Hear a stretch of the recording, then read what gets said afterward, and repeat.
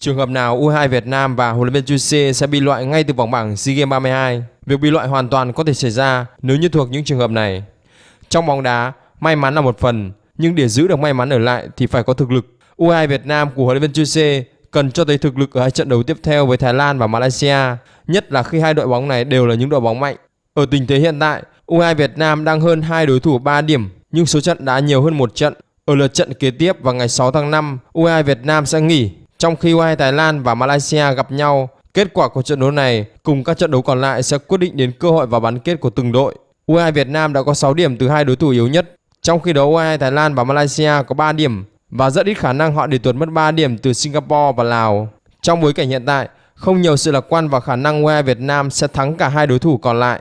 Vậy nếu như trường hợp đều có kết quả hòa thì sao? Khi đó đội Việt Nam sẽ có 8 điểm. Nếu U22 Thái Lan và Malaysia cũng hòa nhau và thắng hai đội còn lại, ba đội sẽ giống nhau có cùng 8 điểm và khi này cuộc đua hiệu số bắt đầu. Về mặt hiệu số, U2 Việt Nam đang bằng U2 Thái Lan khi đối đầu Singapore do cùng thắng 3-1, nhưng kém U2 Malaysia khi đối đầu U2 Lào. Nếu U2 Malaysia thắng Singapore với cách biệt hai bàn và U2 Thái Lan thắng Lào 3 bàn trở lên, U2 Việt Nam sẽ bị loại.